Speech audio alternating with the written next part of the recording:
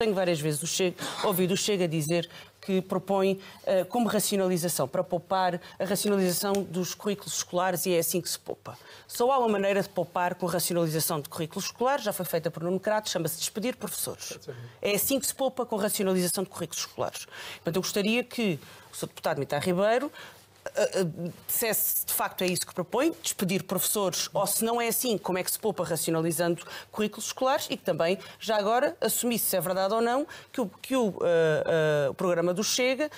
previa proibir o tempo de dedicação dos dirigentes sindicais e, portanto, de acordo com o Chega, não haveria tempo para os dirigentes sindicais organizarem, por exemplo, as greves que estão agora a ser uh, organizadas, que o programa do Chega, além de distinguir o, Ministro, o Ministério da Educação, queria passar as escolas para empresas de professores ou para os municípios, mas sobretudo, acabar com a graduação, porque as escolas seriam as escolas a contratar os professores e isso significava acabar com o concurso por graduação. Eu acho que temos que ser claros, não podemos Gabriel defender uma coisa e o seu contrário.